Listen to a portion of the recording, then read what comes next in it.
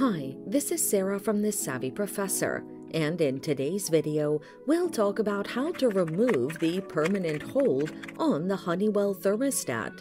Watch until the end of the video to learn more. If your thermostat is in permanent hold mode, it means that the temperature will remain constant indefinitely. To change this, follow these simple steps. Press the on-off button.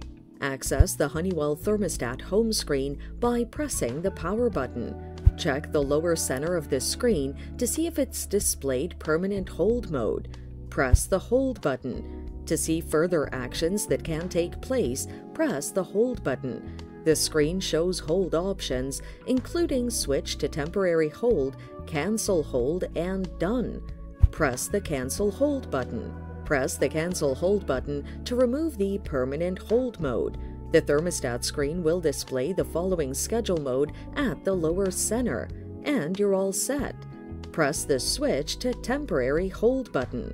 Alternatively, press Switch to Temporary Hold to remove Permanent Hold mode. You'll have to set the new temperature in the temporary hold. The following scheduled temperature change will cancel the temporary hold mode, and you're all done.